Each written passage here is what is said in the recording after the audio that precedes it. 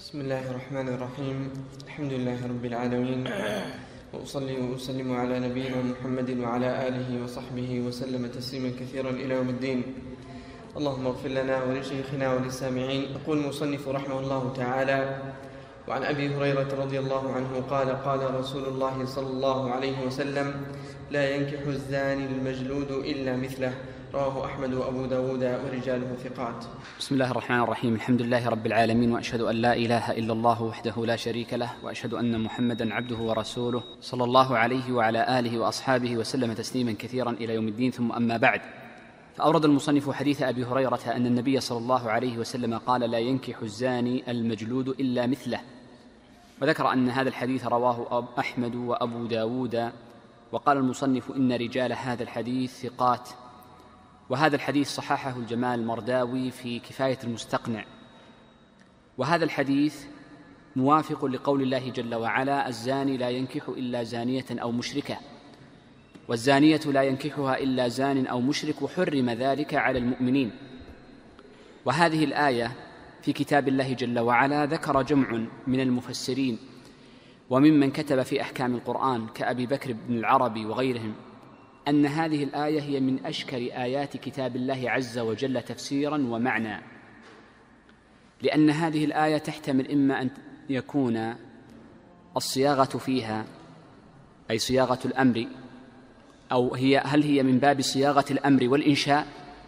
أي لا ينكح فتكون موافقة لما هنا. وتحتمل أنها تكون من باب الإخبار. هذا من جهة. إذن الآية تحتمل أن تكون من باب الأمر والإنشاء وتحتمل أن تكون من باب الإخبار. ومن جهة أخرى فإن قوله الزاني لا ينكح إلا زانية أو مشركة النكاح هنا يحتمل أن يكون المراد به العقد ويحتمل أن يكون المراد به الوطء. هذه من جهة ثانية. ومن جهة ثالثة يتعلق فيما يتعلق بابتداء عقد النكاح واستدامته. ولذلك قيل إن في بعض الأمور المتعلقة بالإنشاء لم يقل أحد بها وعلى العموم فإن الفقهاء رحمهم الله تعالى فقهاء أنا أعني يقولون إن المرأة لا يجوز له من باب الحكم التكليفي أن يتزوج امرأة وقعت في الزنا وكذلك المرأة لا يجوز لها أن ترضى وأن تقبل بالزواج من رجل قد وقع في الزنا سواء كان هذا الرجل محصنا أو غير محصن. وقد جعلوا من شرط ذلك أي من شرط الزواج بالزانية أو عكسه أن يكون الزوج المقابل تائبا. فإن لم يتب فإنه لا يجوز الزواج به وبذلك قضى الصحابة رضوان الله عليهم. وقد جاء عن عمر بن الخطاب رضي الله عنه أنه بين صفة معرفة توبة المرأة الزانية فقال إذا رودت فلم تقبل الزنا فإنها تائبة. ومعنى ذلك أن الرجل إذا كانت له امرأة يخادنها ثم أراد الزواج بها فإنه لا يجوز له أن يتزوج بهذه المرأة إلا إذا علم أنها قد تابت. وصفة توبتها كما ذكر عمر بن الخطاب رضي الله عنه. وهذا الأمر وإن كان لا يظهر بحمد الله عز وجل في نساء المسلمين إلا أنه ظاهر لمن أراد أن يتزوج امرأة من أهل الكتاب فإن كثيرا من الناس إذا أراد أن يتزوج بامرأة من أهل الكتاب فإن هذه المرأة ربما كان قد خادنها قبل ذلك. وقد قال الله جل وعلا والمحصنات من الذين أوتوا الكتاب فلا بد أن تكون محصنة غير زانية. وأما المؤمنة فإن هذا تبع للإيمان أي اشتراط العفة. ولذلك فإنها ربما تقول إني لا أريد الزنا لكن نقول نعرف أنها صادقة في توبتها من الزنا إذا كان خدينها هذا قد راودها فإن تمنعت من ذلك فإنها صادقة في توبتها وإحصانها وإلا فلا. هذا هو مجمل الكلام في المسألة في ابتداء العقد.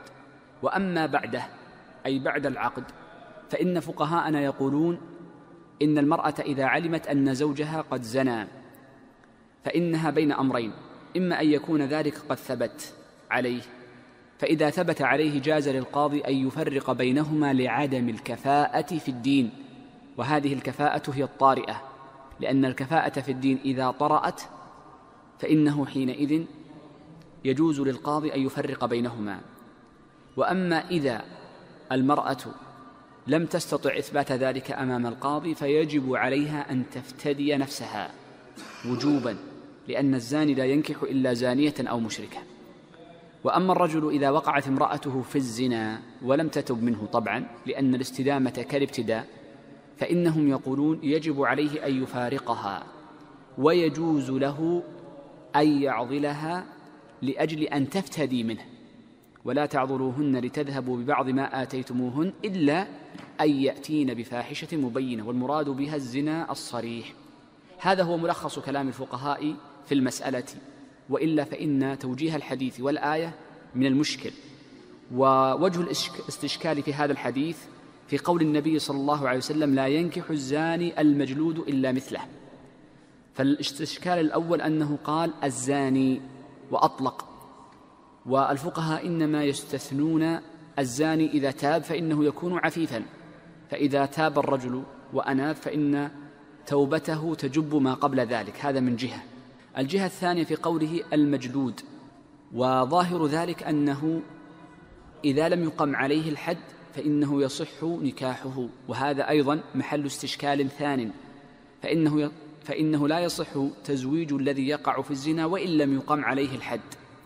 ولكن قد يقال في توجيه, توجيه هذين الأمرين إنما خرج مخرج الغالب أي الذي يستحق الجلد وهذا معنى قوله المجلود. قال إلا مثله. أيضا هذا بمحل استشكال الثالث فكيف يجوز للمرء أن يتزوج زانية ولو كان هو زان؟ فالوصف هذا لا يتعلق بإباحته لهم ولكن يقولون إن قوله إلا مثله خرج مخرج التنفير خرج مخرج التنفير وليس مخرج الإباحة. إذن هذا الحديث الحكم المتفق عليه ما تقدم ذكره من عدم المكافأة في الدين إذا وقعت وقع أحد الزوجين في الزنا إلا إذا رفع عنه ذلك الحكم بالتوبة وأما بعض قيوده فإنها خرجت مخرج الغالب أو خرجت مخرج التنفير أو المستقبل المستقبل باعتبار أنه يستحق الجلد. نعم. أحسن الله إليكم. يقول رحمه الله تعالى وعن عائشة رضي الله عنها قالت طلق رجل امرأته ثلاثا فتزوجها رجل ثم طلقها قبل أن يدخل بها فأراد زوجها الأول أن يتزوجها. فسئل رسول الله صلى الله عليه وسلم عن ذلك فقال لا حتى يذوق الآخر من عسيلتها. ما ذاق الأول؟ متفق عليه واللفظ لمسلم. نعم هذا حديث عائشة أو حديث القاسم بن عبد الرحمن عن عائشة أنها قالت طلق رجل امرأته ثلاثا. هذا الرجل الذي طلق امرأته هو رفاعة رضي الله عنه وقد طلق زوجته تميمة. كما ذكر ذلك غير واحد ممن عني بذكر مبهمات الأحاديث. قال طلقه طلق امرأته ثلاثا. في قوله طلق امرأته ثلاثا يحتمل احتمالين. إما أن يكون قد طلق الثلاث بلفظ مجموع أو لفظ واحد. وعندنا فرق بين اللفظ المجموع واللفظ الواحد. فإن اللفظ المجموع أن يجمع في جملة واحدة فيقول أنت طالق وأنت طالق وأنت طالق هذا المجموع. وأما اللفظ الواحد أن يقول أنت طالق بالثلاث. إذا هناك فرق بين اللفظ المجموع واللفظ الثلاث بلفظ واحد. هذا الاحتمال الأول. والاحتمال الثاني أن يكون قد طلقها ثلاثا في ثلاثة مواضع أي طلقها ثم راجعها ثم طلقها ثم راجعها. لماذا ذكرنا هذين الاحتمالين؟ لأن مشهور المذهب استدلوا بهذا الحديث على أن الطلاق الثلاث سواء كان مجموعا أو بلفظ واحد أنه يقع. واستدلوا بحديث هذا حديث رفاعة حينما طلق امرأته ثلاثا فقالوا ظاهره أنه أنه طلقها ثلاثا بلفظ واحد أو بلفظ مجموع. فحينئذ وقع الطلاق وأمضاه النبي صلى الله عليه وسلم. وأما على الرواية الثانية التي يرى أصحابها أن الطلاق المجموع والطلاق الثلاث بلفظ واحد لا يقع إلا واحدة وسيأتي إن شاء الله معنا تفصيل ذلك في كتاب الطلاق فإنهم يقولون إن المراد بهذا الحديث إنه طلقها في مواضع مختلفة ولا يلزم إذا تطرق الاحتمال أن نأخذ أحد الاحتمالين دون الثاني بل نأخذ ما اجتمع فيه الدليل لأنه سيأتي إن شاء الله المسألة في مظنتها ولكن يشير له إشارة. قال فتزوجها رجل أي بعده ثم طلقها قبل أن يدخل بها. قوله قبل أن يدخل بها مر معنا أن هناك بعض الأحكام متعلقة بالدخول وهناك بعض الأحكام متعلقة بالخلوة. وأما الأقل من الأحكام فهي المتعلقة بالوطء. إذا هناك أشياء تتعلق بالدخول وبعضها تتعلق بالخلوة وبعضها تتعلق بالوطء. وكثيرا ما يطلق الفقهاء الدخول ويريدون به الوطء. وهذا وارد في الحديث. فهنا عائشة في قولها لم يدخل بها قصدها لم يطأ بها لم لا أو لم يطأها. إذا قولها قبل لم يدخل بها أو قبل أن يدخل بها إذا لم يطأ هذه المرأة. قال فأراد زوجها الأول أن يتزوجها. فسئل رسول الله صلى الله عليه وسلم عن ذلك قال لا حتى يذوق الآخر من عسيلتها ما ذاق الأول. هذا الحديث نص على أن الرجل إذا طلق امرأته طلاقا بائنا وبانت منه بينونة كبرى. والبينونة الكبرى إنما تكون بعد الطلاق الثلاث. أي إذا طلق رجل زوجته ثلاث مرات فإن طلقها فلا تحل له حتى تنكح زوجا غيره. فدل ذلك على أنه تسمى البينونة الكبرى. هذه البينونة الكبرى لا تحل لزوجها الأول إلا بأن تتزوج رجلا آخر. ومن شرط هذا الزواج أولا أن يكون الزواج زواج رغبة ليس زواج تحليل. ومر معنا الحديث في أن نكاح التحليل باطل. والشرط الثاني أنه لا بد أن يكون فيه وطء وهو معنى قول النبي صلى الله عليه وسلم حتى يذوق الآخر أي الزوج الآخر من عسيلتها أن يكون هناك وطء. إذا هذا الجملة كما قال الشيخ تقي الدين نص في أنه لا بد من العسيلة لإحلالها لزوجها الأول. لا بد من ذلك. وعلى هذا أجمع أهل العلم ولم يختلفوا في ذلك ولم يخالف فيه إلا سعيد بن المسيب رحمه الله تعالى. وقد ذكرت هذا الخلاف لغرض لأن سعيدا عليه رحمة الله من أعلم التابعين بآثار الصحابة ومن أعلم التابعين بآثار النبي صلى الله عليه وسلم قبل ذلك. ومع ذلك غابت عنه هذه السنة ويدلنا على أن المرأة وإن يعني زاد وإن اتسع علمه واتسع اطلاعه فلا بد وأن تخفى عليه مسائل. وأن تفوت عليه مسائل أخرى. وقد جاء رجل لأحد الأئمة فقال له إن, إن هذه المسألة لم أسمع بها قبل. فقال كم تعلم من العلم؟ نصفه قال لا. قال ثلثه قال لا. إلى أن قال عشرة قال يمكن عشر العلم قال فلعلها في تسعة الأعشار التي لا تعلمها. ولذلك المرء كلما أعجب بنفسه في العلم كلما كان ذلك سببا للوقيعة في الخطأ. وقد ذكروا أن القاضي الماوردي الشافعي صاحب الحاوي أنه مرة ذكر عن نفسه أنه صنف بابا عظيما من أبواب أو, أو ألف مصنفا كاملا في باب البيع. حتى قال عن نفسه لقد ظننت أني أعلم أهل الأرض بهذا الكتاب أي كتاب البيع. يقول فلما أنهيته في الليل جاء الصبح فجلس في درسه فجاءت امرأة فسألت الماوردية عن سؤال في البيع. قال فلم أستطع أن أجب ما استطاع أن يجيب عنها فأجابها رجل في طرف الحلقة فقالت هذه المرأة لأنت تعني الطالب الذي في الطرف وغالبا الطالب إذا كان في طرف الحلقة يكون أضعف من الذي يكون مقدما. قال لا قالت له المرأة لأنت أولى بذلك المقام من ذلك الشيخ. إذا كل شخص يقع منه خطأ ونسيان وذهول ويقع منه جهل. ولذلك قال أحمد الخطأ من ومن يعرى عن الخطأ؟ من الذي يعرى عن الخطأ؟ كل الناس يقع من خطأ وذهول. فالمقصود من هذا أمران أن المرأة لا يعجب بنفسه من جهة ومن جهة أخرى أنه يعتذر لغيره من أهل العلم بأنهم بشر يجهلون وينسون ويخطئون وغير ذلك من العوارض التي تعرض على البشر ولا ينقص ذلك من قدرهم شيئا. فسعيد هنا مع أنه أعلم التابعين ولا شك أنه من أعلمهم ويرجع إليه الصحابة مع ذلك خفيت عنه هذه السنة. إذا قلنا إن هذا الحديث فيه دليل على أنه لا بد ويشترط في إباحتها من العسيلة وينبني على ذلك مسائل. نذكر مسألة أو مسألتين من باب التطبيق فقط. المسألة الأولى أنه إذا لم يكن فيه وطء من طريق مباح وإنما كان هناك وطء من طريق محرم. فإن هذا الوطء الذي يكون من طريق محرم لا يبيح المرأة إلى زوجها الأول. وهذا بلا خلاف بين أهل العلم كما حكاه الشيخ تقي الدين. فقد ذكر أن الوطأ الذي يكون من طريق محرم كالدبر مثلا وغير ذلك لا يبيح هذه المرأة لزوجها الأول بإجماع المسلمين بلا خلاف. من الأمور التي تتعلق بذلك أن المرأة إذا تزوجت رجلا آخر. وكان هذا الرجل إنما منعه من الوطء العجز بأن كان عنينا أو غير ذلك. فإنه في هذه الحال نقول وإن كان المانع ليس بإرادة من الثاني ولا من, من الزوجة نفسها وإنما هو عارض فإن هذا أيضا لا يبيحها لزوجها الأول. لا يبيحها لزوجها الأول. فليس كل تطليق يبيح الزوجة البائنة لزوجها الأول بل لا بد أن يكون فيه كما قال النبي صلى الله عليه وسلم حتى يذوق الآخر من عسيلتها. نعم. أحسن الله إليكم. يقول رحمه الله تعالى باب الكفاءة والخيار.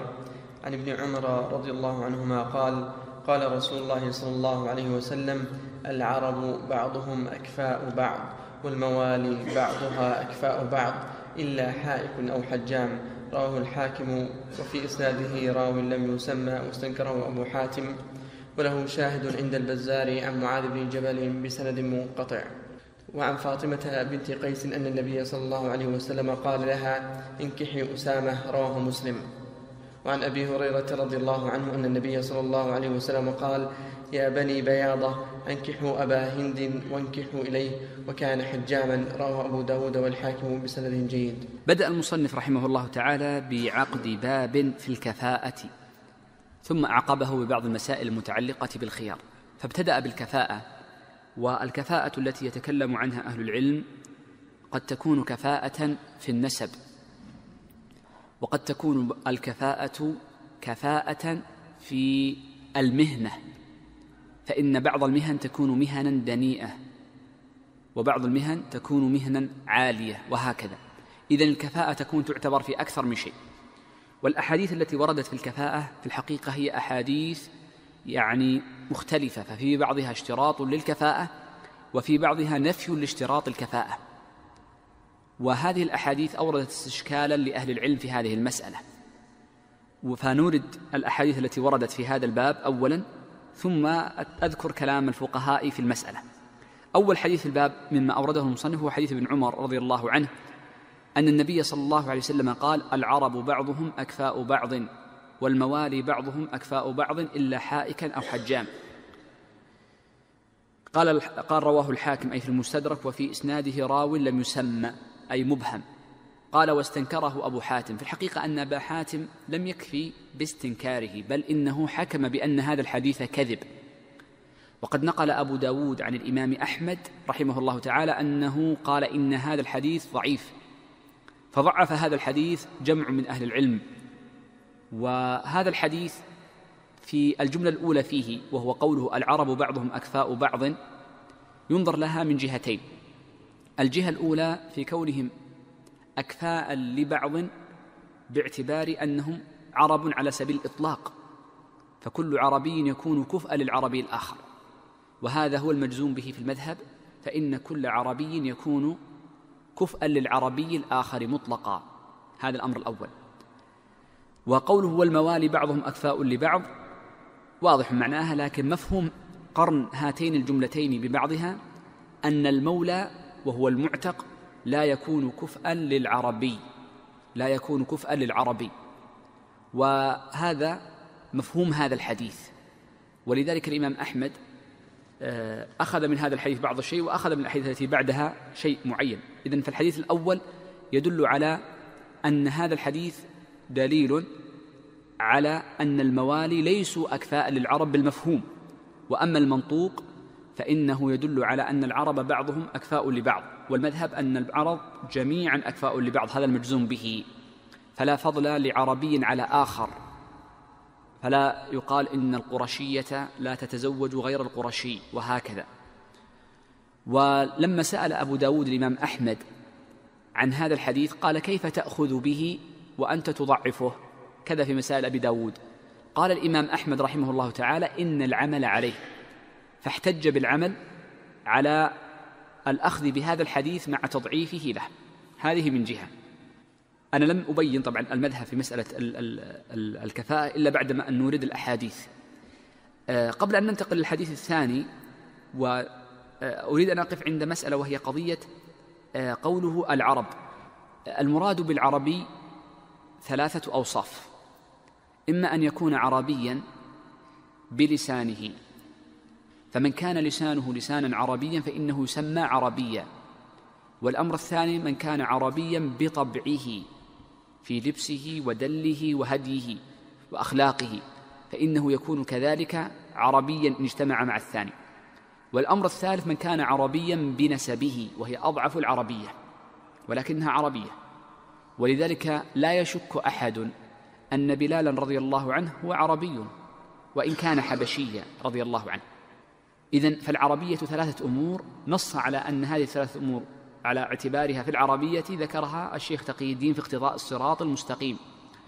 ولذلك يقول عمر بن الخطاب رضي الله عنه خير العرب خير العجم أشبههم بالعرب أي في دله ولبسه ولسانه وغير ذلك وشر العرب أشبههم بالعجم فمن يتشبه بالعجم في لبسه وفي لسانه وفي غير ذلك فهو في الحقيقة أبعد عن العربية من من ذلك الرجل الذي هو أقرب إليهم بلسانه وبدله وإن كان نسب الأول عربيا صليبا والثاني ليس كذلك. وهذه المسألة مهمة جدا لمعرفة من هو العربي بمعناه العام الشمولي فليس خاصا بمجرد النسب. طيب. الحديث الثاني الذي أورده المصنف حديث فاطمة بنت قيس رضي الله عنها أن النبي صلى الله عليه وسلم قال انكحي أسامة. وهذا الحديث الصحيح ولا شك. فهذا الحديث أورده المصنف للدلالة على أن المولى يجوز أن يتزوج العربية فإن فاطمة بنت قيس رضي الله عنها كانت قرشية فهرية من بني فهر فهم من صليب قريش. وأما أسامة بن زيد فإنه مولى وابن مولى النبي صلى الله عليه وسلم. بل أبوه زيد بن حارثة رضي الله عنه تزوج زينب بنت جحش وهي قرشية أيضا. فأورد المصنف هذا الحديث للدلالة على أن الكفاءة ليست شرطا في صحة النكاح. ليست شرطا في صحة النكاح.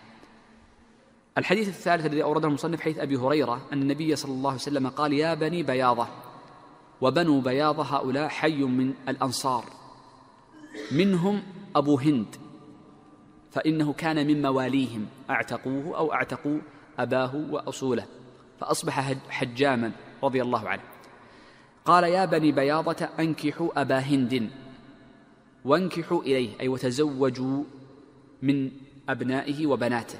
قال وكان حجاما. قال رواه الإمام أحمد والحاكم بسند جيد. المصنف أورد هذا الحديث للدلالة على إسقاط الكفاءة من شروط النكاح. ولكن هذا الحديث وإن قال المصنف إن سنده جيد إلا أن كبار الأئمة لم يصححه ولذلك قال الإمام أحمد إن هذا الحديث منكر جدا. لم يقل منكرا فقط وإنما قال هو منكر جدا. وضعفه عليه رحمة الله. وهذا الحديث فيه علل كثيرة جدا والصواب فيه أنه مرسل ولا يصح رفعه للنبي صلى الله عليه وسلم كما نقل تصحيح ذلك الزركشي أي الشمس الزركشي في شرح الخرقي. إذن هذا الحديث لا يصح الاحتجاج به. وقد جاء عن الإمام أحمد رحمه الله تعالى أنه لا يأتي لا يصح حديث عن النبي صلى الله عليه وسلم في إسقاط الكفاءة. وكذلك أيضا لا يصح حديث في اشتراطها. قال ولكن العمل على اشتراطها كما سبق معنا. فالأحمد نقل عن عدم صحة يعني شيء في هذا الباب صريح لا في الإثبات ولا في النفي. آه، عندنا هنا مسألة آه، ما حكم اشتراط الكفاءة في النسب. مشهور المذهب والمعتمد عند المتأخرين أن الكفاءة في النسب ليست شرطا في صحة النكاح بخلاف الكفاءة في الدين. فإن الكفاءة بالدين في الدين شرط في الصحة سواء كان إسلام وكفر أو عدالة أو فسق مثل أن يتزوج الزاني غير الزانية وهكذا. فعندهم أن الكفاءة في النسب ليست شرطا للصحة. وإنما هي شرط للزوم. هذا هو المشهور المذهب المعتمد. ومعنى كونها شرطا للزوم أن يجوز فسخ النكاح لعدم المكافأة في النسب. ولكنه صحيح وما وكل ما ترتب عليه من آثار فإنها تثبت من مهر ومن وطء ومن ولد ومن نفقة وغير ذلك. ولا يترتب عليه أي عقوبة فهو نكاح صحيح مكتمل الأركان. لكنه شرط للزوم. ومعنى قولنا إنه شرط للزوم يعني أنه يجوز لمن له الحق أن يفسخ النكاح به. ومن الذي له حق في الكفاءة النسب على مشهور المذهب أنه حق للأولياء جميعا. ليس خاصا بولي النكاح فقط بل كل الأولياء. قالوا لأنه قد تلحق معرة بجميع الأولياء بسبب هذا النكاح فأصبح حقا لهم في الفسخ. هذا هو مشهور. المذهب المعتمد عند فقهائنا رحمة الله عليهم. الرواية الثانية التي ذكرها الموفق أبو محمد رحمه الله تعالى فإنه لما ذكر تعارض هذه الأحاديث قال الصحيح أن الكفاءة في النسب يعني وكذلك كفاءة المهنة كفاءة النسب بأن يكون مولى يتزوج آه، من ليس بمولى أو تكون المهنة مثل الحجاب قال والصحيح أن الكفاءة في هذين الأمرين في النسب والمهنة غير مشروط. ليس شرطا. لعدم ورود يعني طبعا مني هذه الزيادة لعدم ورود الدليل الدال على شرطيتها. قال ولكن ما روي فيها من آثار ومن معاني ومنها الحديث المتقدم الذي قال أحمد العمل عليه يدل على اعتبارها في الجملة لكنها ليست شرطا. إذا دل على اعتبارها فهي من باب الأدب والاستحسان وكمال عقد النكاح وجود مثل هذه الكفاءة عند الابتداء. وظاهر كلام الموفق وهذا الكلام نقل عنه ابن أخيه ابن أبي عمر في الشرح. ومن ميزة الشرح كما مر معنا من باب التعريف فيه قبل أمور منها أنه يميز كلام المصنف اللي هو الموفق ومنها أنه يخرج الأحاديث أوسع ومنها أنه يعني يوضح بعض الكلام الذي أجمله المصنف وإن كان قليلا. فالحقيقة أن والأمر الرابع من ميزات الشرح الكبير أنه مرتب على ترتيب المقنع المعتمد عند المتأخرين بينما المغني مرتب على ترتيب الخرقي والقول بأن كل ما في الشرح الكبير هو موجود في المغني لا بل يتميز عليه بأربعة الأمور ذكرناها قبل قليل. نعم. طبعا آه، بقي عندنا هنا مسألة في قوله بس من باب التذكير في قول فاطمة النبي صلى الله عليه وسلم قال لها انكحي أسامة. آه، كان ذلك حينما تأيمت رضي الله عنها ولما تأيمت وانقضت عدتها تقدم لها معاوية وأبو جهم وأسامة. فاستشارت النبي صلى الله عليه وسلم فأشار لها بأسامة فقال انكحي أسامة وكان أفقر أفقر الثلاثة ولكنها بعد ذلك حمدت وصية النبي صلى الله عليه وسلم فيما رأته من أسامة. هذه السبب النزول أو سبب إيراد هذا الحديث. آه، له غرض وأنا قلت لكم قبل أن الحافظ لا يرد إلا محل الشاهد غالبا ويترك الباقي لأن الشارح لهذا المتن يكتفي على محل الباب فقط. هذه نستفيد منها أمران. الأمر الأول أن من نصح في عقد نكاح فيجب عليه أن يكون صادقا.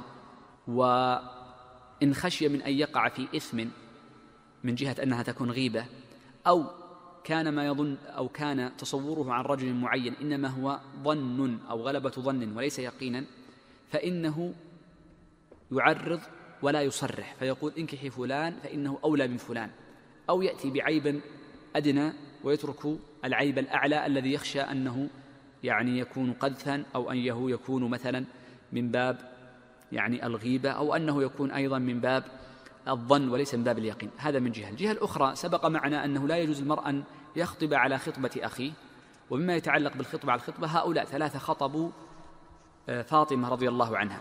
وقد حمل فقهاؤنا آه، هذا الشيء من فاطمة رضي الله أو من هؤلاء الصحابة مع فاطمة على أن فاطمة لم تركن إليهم. ما ركنت؟ ما قالت نعم لا بنص ولا بدلالة حال.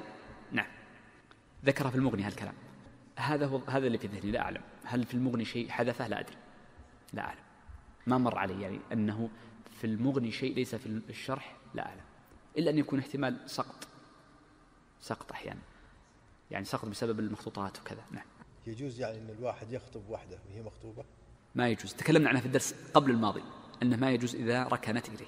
تعرف إنها مثلا فلان خطبها بس ما وافقوا ولا شيء. ركنت إذا ركنت المرأة ما يجوز. العبرة بالمرأة لا بأهلها. أحسن الله إليكم يقول رحمه الله تعالى وعن عائشة رضي الله عنها قالت خيرت بريرة على زوجها حين عتقت متفق عليه في حديث طويل. ولمسلم عنها أن زوجها أو أن زوجها كان عبدا وفي رواية عنها كان حرا والأول أثبت. وصح عن ابن عباس عند البخاري أنه كان عبدا. آه هذا حديث عائشة رضي الله عنها أنها قالت خيرت بريرة رضي الله عنها مولاة النبي صلى الله عليه وسلم وعائشة. قال خيرت بريرة حين على زوجها حين عتقت. آه، معنى أنها خيرت أي جعل لها الخيار في إمضاء عقد النكاح أو فسخه. هذا معنى قول خيرت. حين عتقت أي حينما أعتقت فقد كانت مملوكة ثم أعتقت بعد ذلك. قال ولمسلم عنها أي آه أن مسلما روى عنها رضي الله عنها أن زوجها كان عبدا. قال وفي رواية كان حرا. قال والأول أثبت.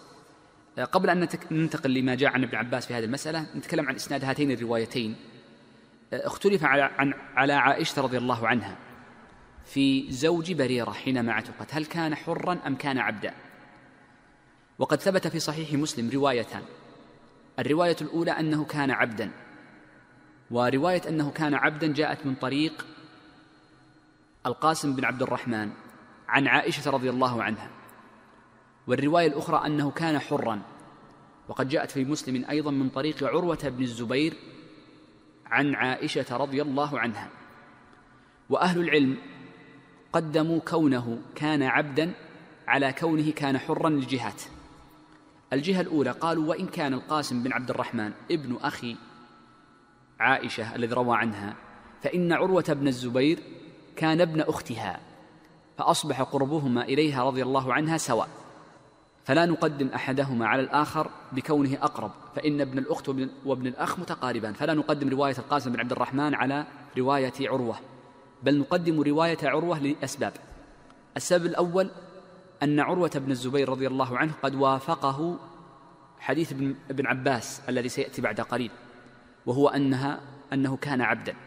بل إن أغلب الناس كما قال إبراهيم ابن أبي طالب قال أغلب الناس يروي الحديث أنه كان عبدا ولم يك حرا. والأمر الثالث أن مسلما قد روى في, في صحيحه أن شعبة روى هذا الحديث عن آه، عبد الرحمن بن القاسم عن أبيه القاسم عن عائشة رضي الله عنها وأنه كان حرا. قال شعبة رضي الله قال شعبة رحمه الله تعالى ثم سألت عبد الرحمن بن القاسم عن زوجها بعد ذلك بعد فترة فقال لا أدري فهذه الجملة التي نقلها مسلم وكتاب مسلم في الصحيح يعني كتاب مسلم فيه من نكت العلل ما لا يوجد في كثير من الكتب المسندة ولكن قد لا يذكر كلامه وإنما يشير لها إشارة ليعرفها المختص. هذه تدلنا على أنه احتمال أن زيادة كان حرا ليست من القاسم بن عبد الرحمن وإنما ممن دونه عبد الرحمن بن القاسم ابنه. فيكون الخطأ من من دونه. ولذلك فإن عبد الرحمن بن القاسم نقل عن شعبة أنه بعد ذلك توقف قال لا أدري هل كان حرا أم, لك أم لم يك حرا. واحتمال أنه يكون القاسم بن عبد الرحمن هو الذي أخطأ فيها. طيب. إذن آه هذه هي المسألة. قال وصح عن ابن عباس رضي الله عنهما عند البخاري أنه كان عبدا وبهذا يصحح أو يرجح رواية آه، يزيد بن رومان عن عروة بن الزبير عن عائشة رضي الله عنها أن زوج بريرة كان عبدا. هذه الحديث فيه من الفقه مسائل. أول مسألة معنا في قول النبي صلى الله عليه وسلم خيرت. خيرت أي خيرت بريرة حينما عتقت. تخير بريرة رضي الله عنها هل كان لكونها عتقت تحت عبد فكملت وكان زوجها ناقصا فيصبح التخيير لعدم الكفاءة أم أن تخير بريرة رضي الله عنها لكونها ملكت نفسها وكانت قبل ذلك غير مالكة لنفسها وإنما كانت ملكا لسيدها فأصبح أمرها إليها فأصبح الاستدامه كالابتداء فلا بد فيها من الإذن.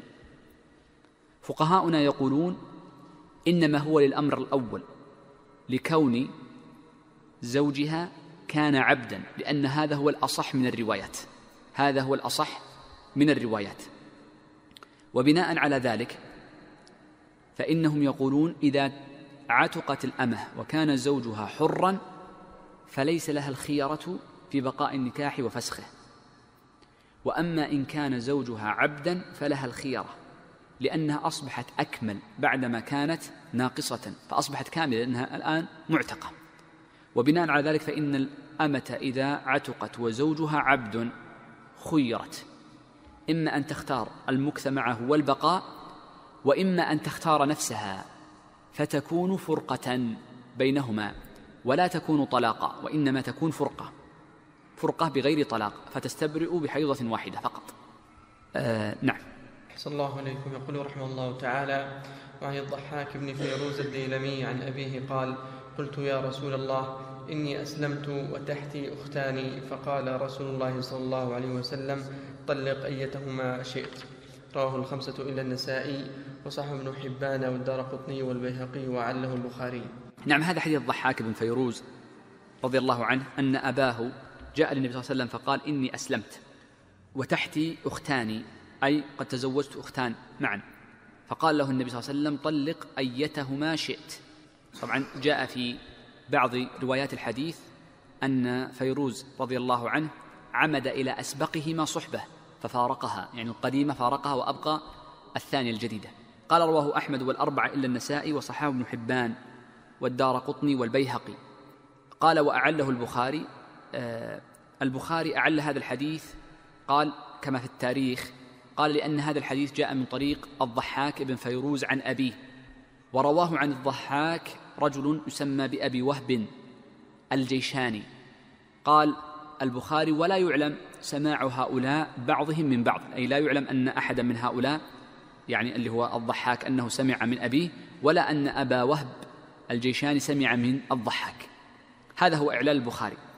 ولكن هذا الحديث كما ذكر المصنف صححه ابن حبان صحه الدار قطني والبيهقي وحسن إسناده أيضا الشيخ تقي الدين ابن تيمية ولعل هذا هو الأقرب. ومعلوم أن آه، البخاري رحمه الله تعالى كان يعني متشدد في قضية السماع كما هو معلوم في هذه المسألة وهذه مسألة مشهورة جدا حتى ألف بعضهم فيها كتبا مفردة ككتاب ككتاب ابن رشيد السنن الأبين في المحاكمة بين الإمامين في السند المعنعن وغير ذلك. آه، هذا الحديث فيه أو قبل أن نعم فيه من الفقه مسألة وهو أن المرأة إذا تزوج أو أسلم وتحته زوجتان وهاتان الزوجتان لا يجوز الجمع بينهما لكونهما أختين أو إحداهما عمة للأخرى أو خالة أو كون إحداهما إذا فرض أنها ذكر والأخرى أنثى فلا يجوز زواجها بها فإنه حينئذ يجب عليه أن يفارق أحدهما يجب عليه أن يفارق واحدة من, من هذه الزوجات. وقول النبي صلى الله عليه وسلم طلق ليس المراد بقوله طلق الطلاق المعروف المحسوب وإنما قوله طلق بمعنى فارق هذه المرأة وسرحها وأرسلها وليس المقصود الطلاق.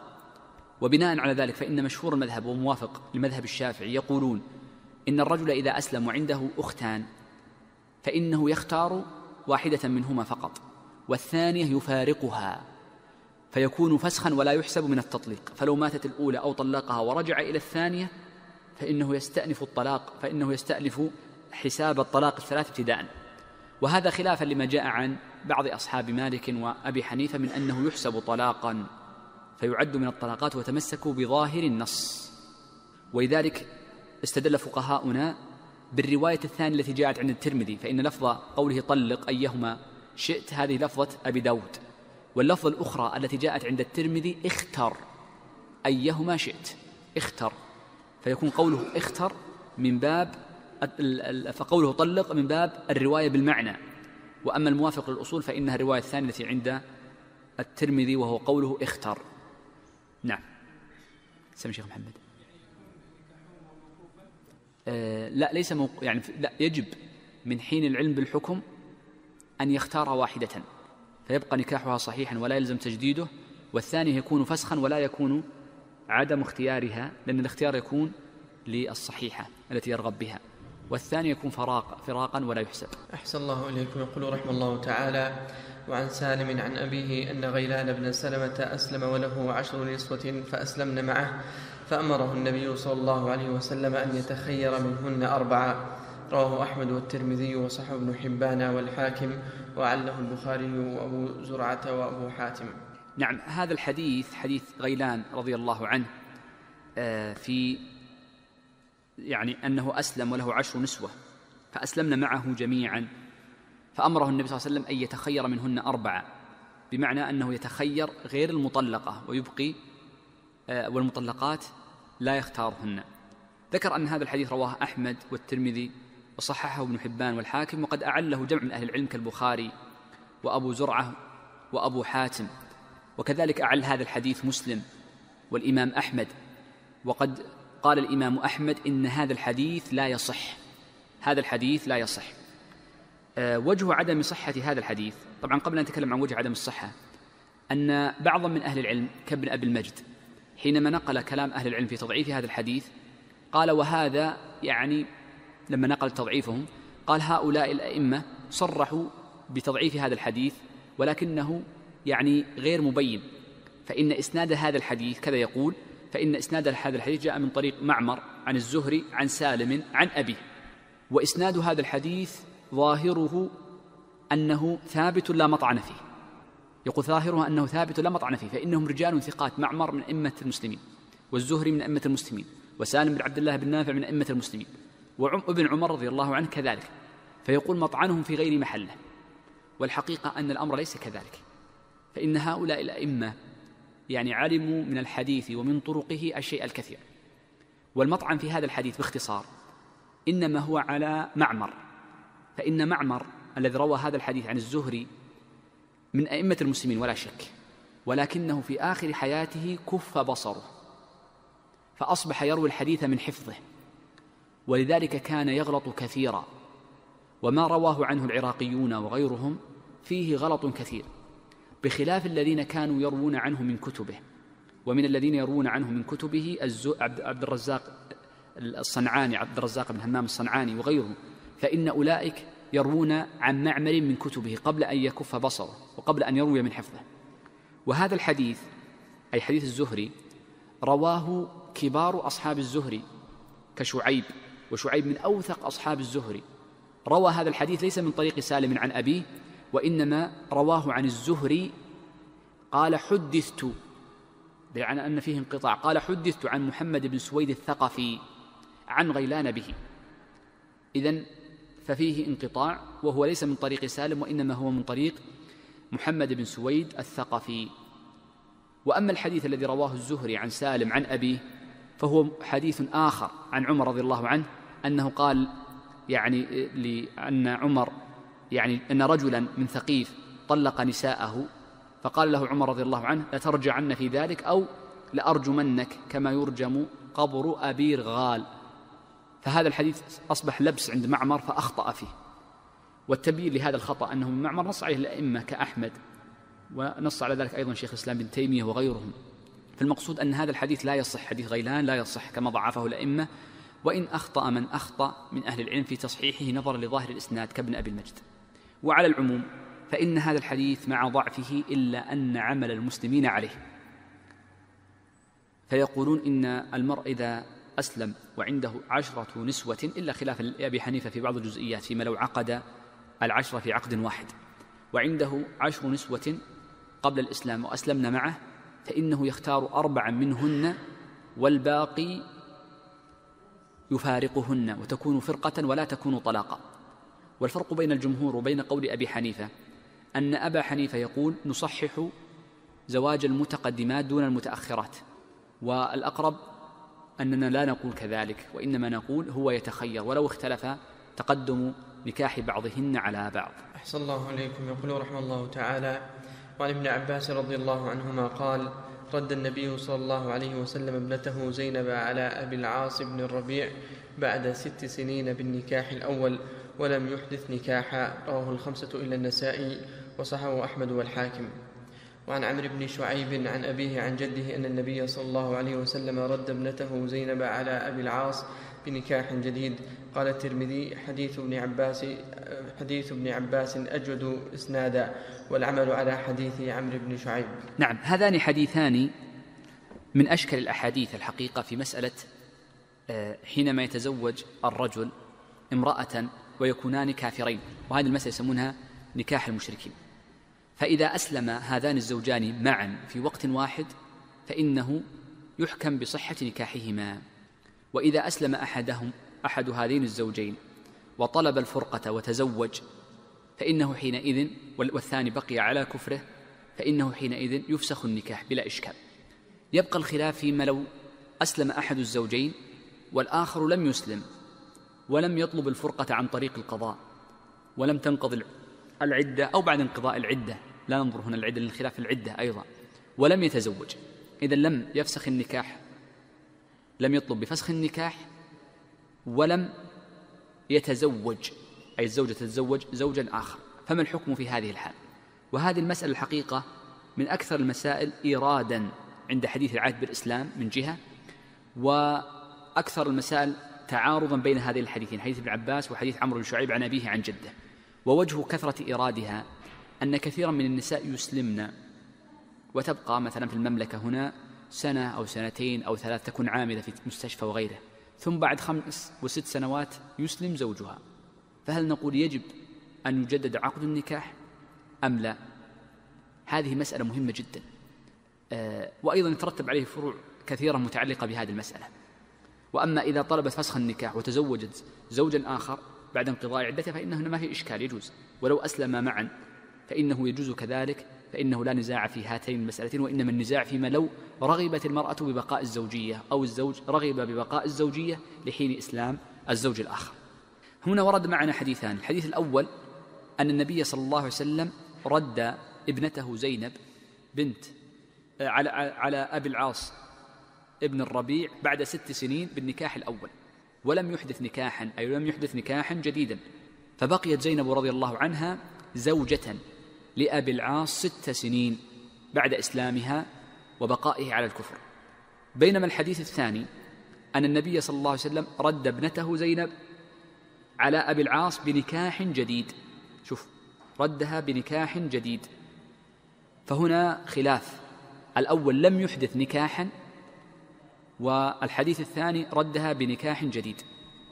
وهذا الاختلاف بين الحديثين هو سبب الاختلاف في المذهب. فإن المذهب قبل أن نتكلم عن علل الحديث لأن علل الحديث ينبني عليه تعريف المذهب. فإن المذهب يقولون مشهور المذهب أن المرأة إذا أسلمت وزوجها لم يسلم فإنها تبقى مدة العدة. فإن أسلم في أثناء مدة العدة فإنها ترد إليه بالنكاح الأول ولا تحتاج إلى عقد جديد. وأما إذا انقضت عدتها ثم أسلم بعد ذلك فإنها لا تحل له إلا بعقد جديد. فأخذوا بحديث عمرو بن شعيب عن أبيه عن جده وهذا هو قول عامة أهل العلم وهو أنها بعد انقضاء العدة آه، لا ترد إلى زوجها الأول إلا بعقد جديد. الرواية الثانية في المذهب يقول إن عقد النكاح يكون بمثابة العقد الموقوف ومعنى كونه عقدا موقوفا أي أنها أي المرأة التي إذا أسلمت وزوجها ما زال كافرا يجوز لها أو يكون لها الخيار. إما أن تفسخ النكاح أو تبقي النكاح. فتبقى زوجة لهذا الرجل غير المسلم.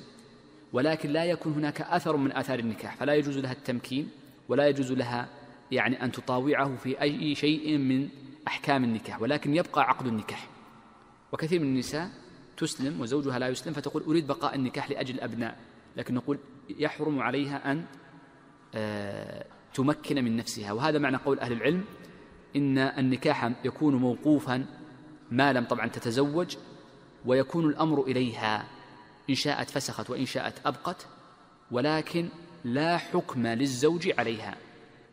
إذن هاتان الروايتان. المذهب عملوا بحديث عمرو بن شعيب عن أبيه عن جده.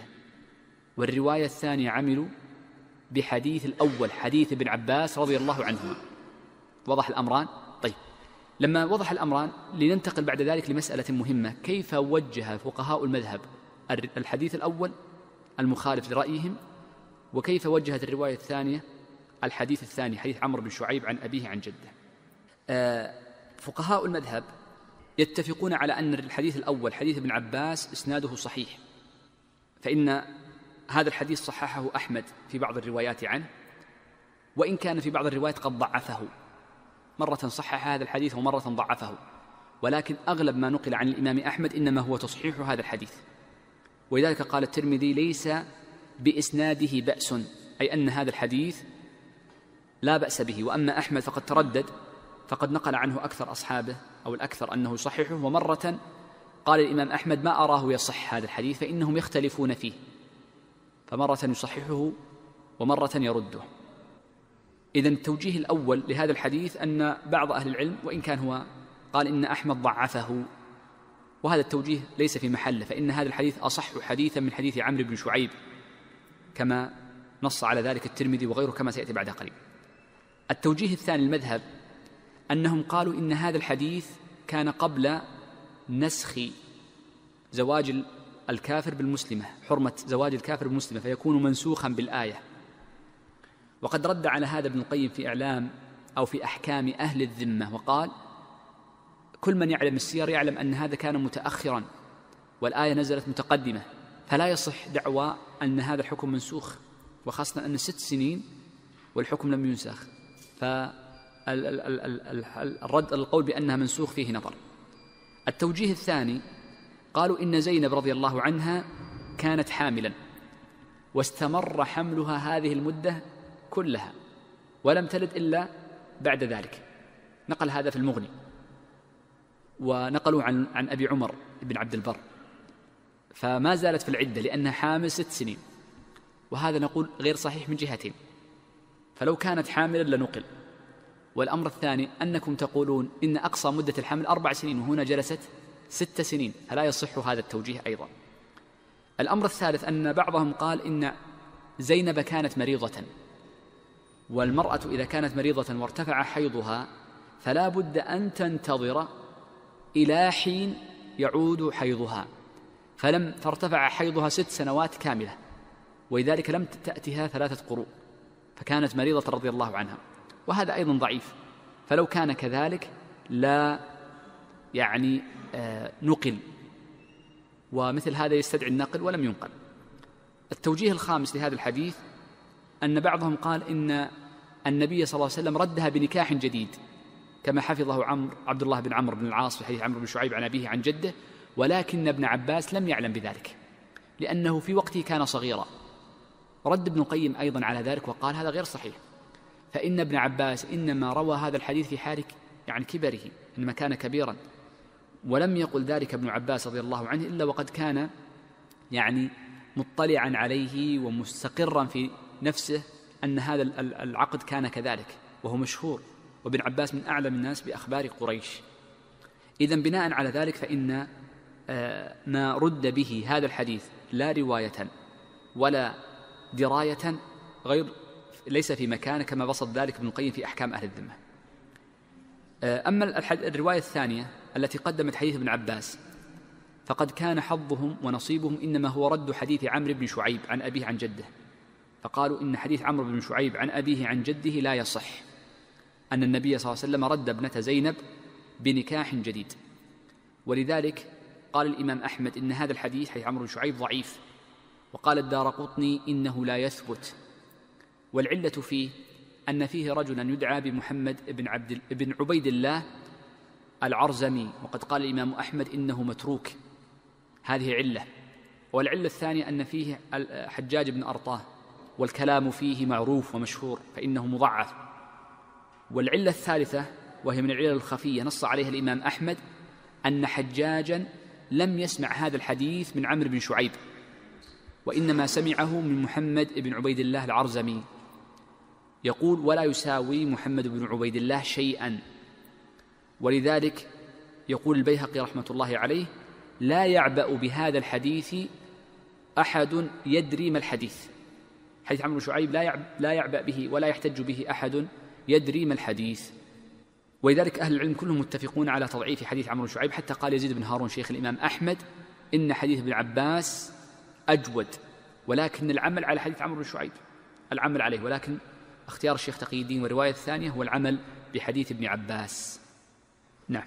أحسن الله إليكم. يقول رحمه الله تعالى وعن ابن عباس رضي الله عنهما قال أسلمت امرأة فتزوجت فجاء زوجها فقال يا رسول الله إني كنت أسلمت وعلمت بإسلامي وعلمت بإسلامي فانتزعها رسول الله صلى الله عليه وسلم من زوجها الآخر وردها إلى زوجها الأول. رواه أحمد وأبو داود وابن ماجه وصحب بن حبان والحاكم. نعم هذا حديث ابن عباس آه، ذكر المصنف من صححه وقد ذكره الشيخ تقي الدين وأعله بسماك بن حرب وسماك فيه كلام يعني بين أهل العلم مشهور. هذا الحديث فيه أن آه، رجل أسلم أسلمت امرأة ثم جاء زوجها بعدها فقال إني كنت قد أسلمت وعلمت بإسلامي وعلمت بإسلامي. قال فانتزعها رسول الله صلى الله عليه وسلم من زوجها الثاني وردها إلى زوجها الأول. آه، قال الفقهاء رحمه الله تعالى في مشهور المذهب أن هذا أن المرأة علمت بإسلامه في أثناء عدتها. أن علمها بإسلامه إنما هو كان في أثناء عدتها. هذا هو تقرير المذهب كما سبق معنا في شرح الحديثين السابقين. وأما على الرواية الثانية فإنهم يقولون إن علم هذه المرأة بإسلام زوجها بعدها إنما كان قبل زواجها من الثاني. ولذلك يقول الشيخ تقي الدين إن هذا النبي صلى الله عليه وسلم لما ردها آه، ردها لما علم أنه قد أسلم أي الثاني. وعلمت بإسلامه. فقط هذه هي العلة أنه أسلم وعلمت بإسلامه.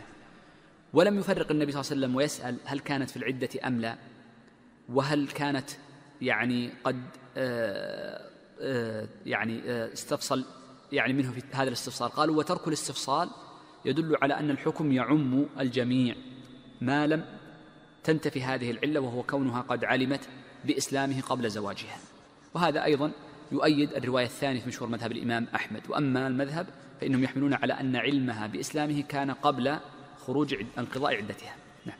أحسن الله إليكم. يقول رحمه الله تعالى وعن زيد بن كعب بن عجرة عن أبيه قال تزوج رسول الله صلى الله عليه وسلم العالية من بني غفار فلما دخلت عليه ووضعت ثيابها رأى بكشحها بياضا فقال البسي ثيابك والحقي بأهلك وأمر لها بالصداق. رواه الحاكم وفي إسناده جميل بن زيد وهو مجهول واختلف عليه في شيخه اختلافا كثيرا. بدأ المصنف رحمه الله تعالى بذكر الأحاديث المتعلقة بعيوب النكاح وعيوب النكاح المراد بها ما يتصف به أحد الزوجين من العيوب الخلقية التي آه، خلقه الله عز وجل عليها ويجوز للزوج المقابل أن يفسخ النكاح إذا علم بها.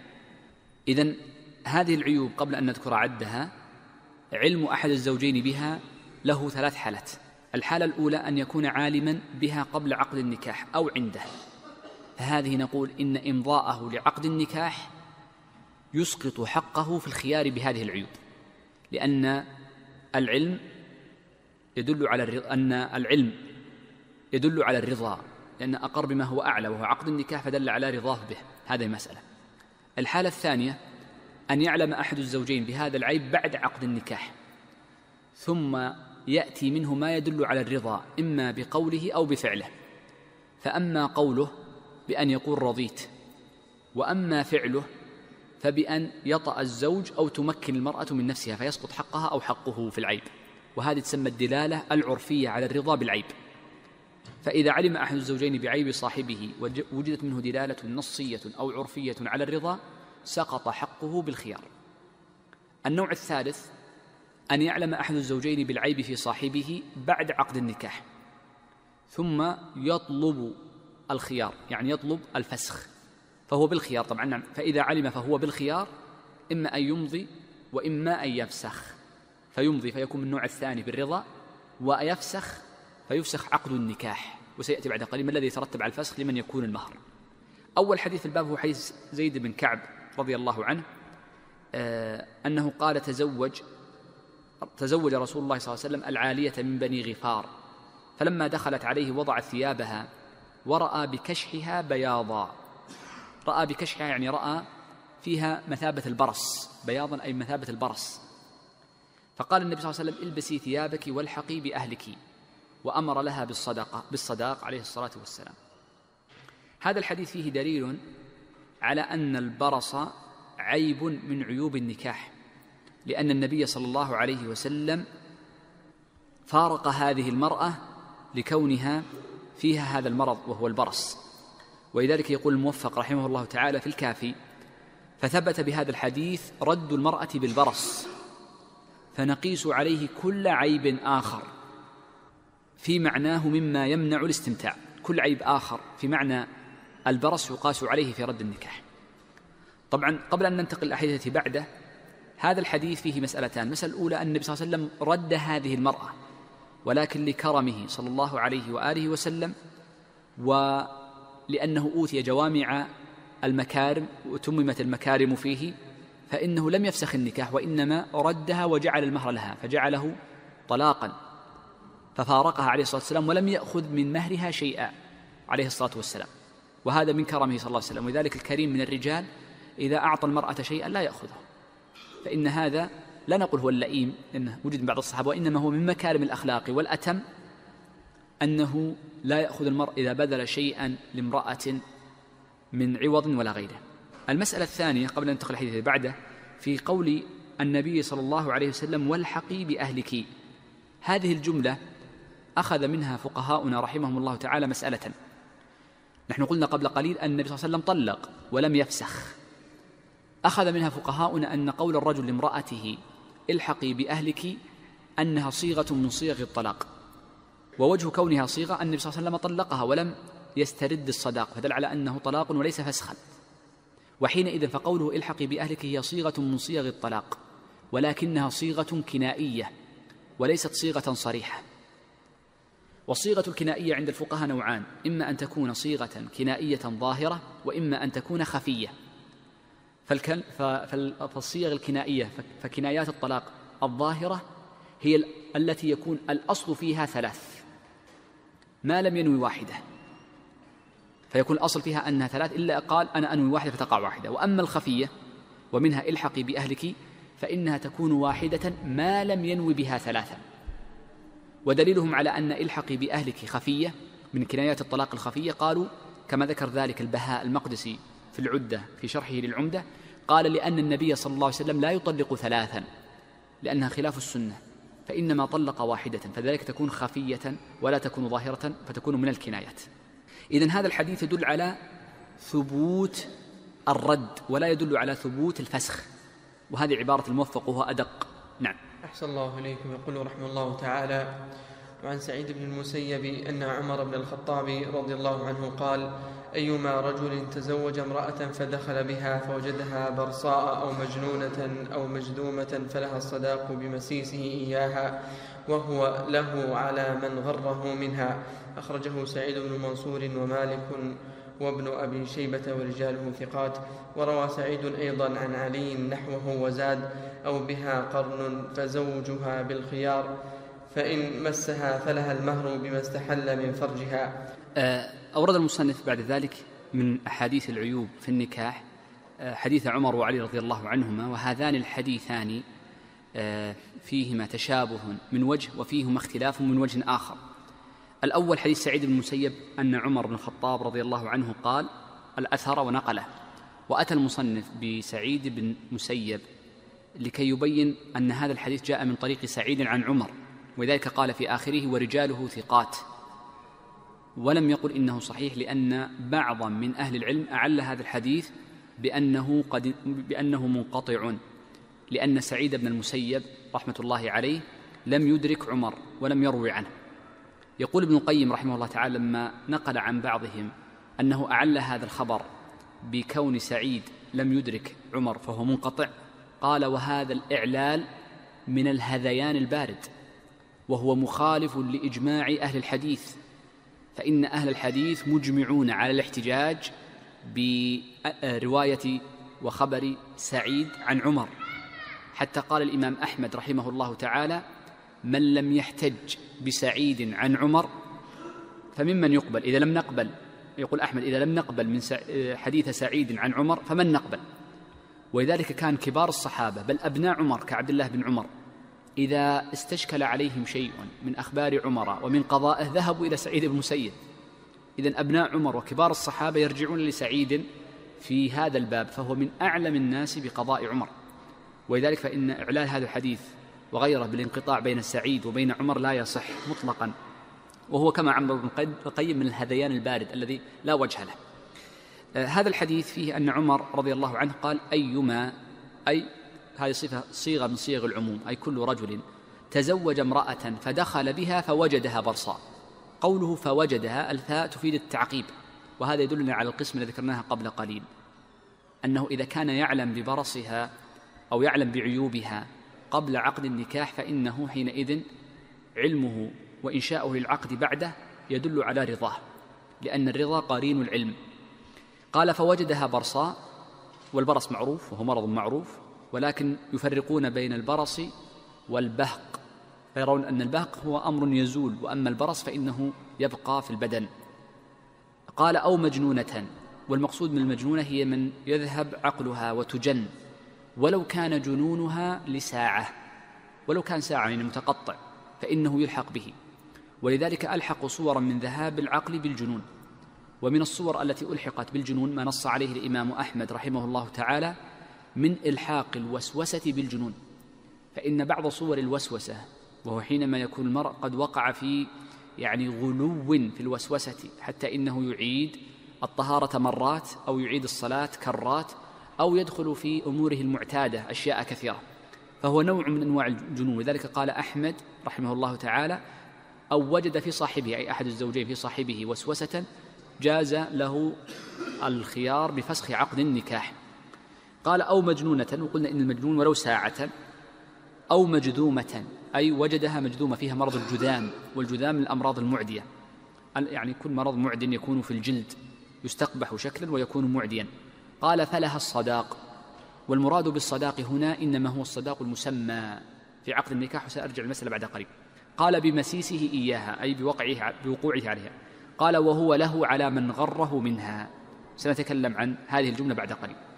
قال وروى سعيد يعني سعيد بن منصور رحمة الله عليه عن علي نحوه أي نحو حديث عمر. قال وزاد وبها قرن. آه، القرن هو أحد عيوب النكاح الخاصة بالمرأة. والمراد بالقرن هو انسداد آه، يعني فرج المرأة بحيث لا يمكن وطئها بلحم ينبت فيه. وسأذكر هذه الصفات بعد قليل. قال فزوجها بالخيار. فإن مسها فلها المهر بما استحل من فرجها. آه، الفرق بين حديث سعيد بن المسيب وحديث عفوا فرق بين حديث عمر وحديث علي رضي الله عنه. طبعا حديث علي جاء من طريق الشعبي عن علي كما عند آه، سعيد مسيب سعيد بن منصور وله طرق يعني تشهد له كذلك. آه، الفرق بينها من جهات. الجهة الأولى أن حديث علي وخبر علي في زيادة صفة وهي القرن. الأمر الثاني أن حديث علي رضي الله عنه فيه أن لها المهر وسكت ولم يقل إنه يرجع على من غره. ولذلك فإن هذين الحديثين بينهما اختلاف. وقد جاء عن الإمام أحمد أنه استشكلت عليه هذه المسألة فنقل عنه إسحاق بن منصور كوسج أنه سأله قال أتقول بحديث علي وعمر؟ فقال لا أدري لا أدري. قال ثم سألته بعد ذلك فقال لا أدري إلا أن يرجع على الولي فيكون معنى قول علي فيرجع الولي. إذا سكت ولم يذكر الرجوع على الولي بمعنى أنه موجود في الذهن ومستقر. وقد جاء عن الإمام أحمد رحمه الله تعالى قال كنت أذهب لأثر علي وهو عدم الرجوع على الولي وإنما يكون لها المهر في مقابل الوط وثم بعد ذلك هبته ثم ملت إلى قول عمر. إذا عندنا أمران هل هما متعارضان؟ ما لا في أول الأمر كان أحمد يرى أنهما متعارضان لعدم الرجوع على الولي ثم بعد ذلك أحمد قال إنهما ليسا متعارضين. وإنما قول علي محمول على قول عمر بأن يرجع الولي. فيكون السكوت لا يلزم منه النفي. السكوت عن هذه الزيادة لا يلزم منها النفي. هذا الحديث فيه من الفقه مسائل. المسألة الأولى أن هذا الأثر عن علي وعمر رضي الله عنهما فيه أن أحد الزوجين إذا وجد في زوجه عيبا فله الخيار. فله الخيار. والخيار يكون بين أمرين إما في الإمساك أو بالمفارقة. هذا هو الحكم الأول. الحكم الثاني أن الرجل إذا إذا علم بالعيب ثم فارق زوجته فإن له حالتين. الحالة الأولى أن يفارقها قبل الدخول. فإن فارقها قبل الدخول فلا مهر لها فترد المهر كاملا له إذا كان العيب فيها هي. وأما إن كان العيب فيه هو فكذلك لأنه أصبح فسخ للعقد فترد له مهره وهو يرد لها وهي ترد له المهر. فلا مهر لها إذن. فترد له المهر كاملا. وأما إن لم يعلم بالعيب إلا بعد الدخول ففقهاؤنا رحمة الله عليهم يقولون إن المرأة يكون لها المهر المسمى وليس مهر المثل لأن حديث عمر فلها الصداق وأل هنا عهدية بمعنى الصداق المعهود الذي تعارفا عليه واتفقا عليه فلها الصداق كاملا. وذلك كما علل قال بمسيسه إياها طيب والزوج يرجع على من غره. على الذي غره. فإن كان الذي غره أبوها أو أخوها أو غيره فإنه في هذه الحالة يأخذ منه هو المهر لأنه الغار. وعندنا قاعدة فقهية أن الغار ضامن.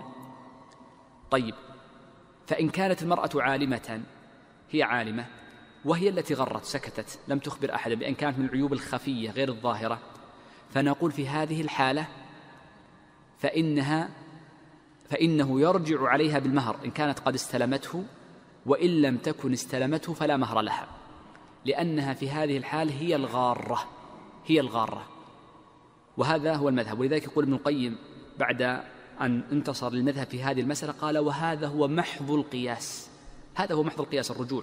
لأن من قال إنه لا يرجع وأخذ بحديث علي أو بظاهر علي حديث علي قال لأن القاعدة في المتلفات لا بد في مقابل الإتلاف وهو المسيس ولماذا يرجع؟